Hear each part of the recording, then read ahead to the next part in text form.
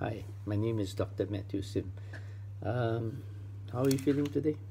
I hope you're feeling fine. Uh, if you're feeling down, um, go for a run for half an hour um, or go for a swim.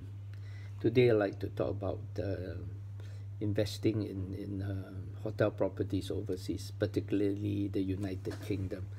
Some of my friends have invested in properties, uh, hotel properties in the United Kingdom. Usually they buy rooms, and the rooms can range from 30, 40, 50,000 pounds to 100 pound, thousand pounds per room. The problem is that uh, some of these uh, sellers are, are, are, scammers.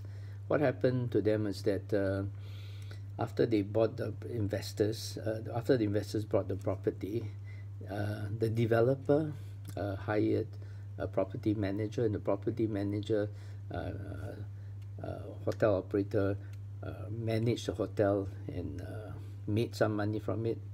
But they, they turned around the prop the hotel operator turned around and told the investors that it's not making money and charged the investors uh, service charge and charged the investors ground rent. And so the hotel operator is making money from both the hotel guests as well as the investors and the investors are stuck. There's nothing they can do. It's similar to what I, I spoke about on student accommodation previously.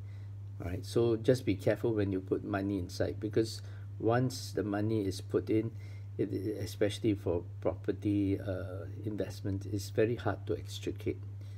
Uh, that's all I have from now. Boom.